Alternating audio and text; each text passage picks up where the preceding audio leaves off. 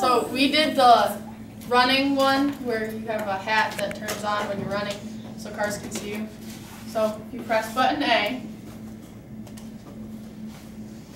You say he's running, you're the car behind him. You can see him. So his awesome lights on his hat. Then when you're done running, press button B. And they turn off.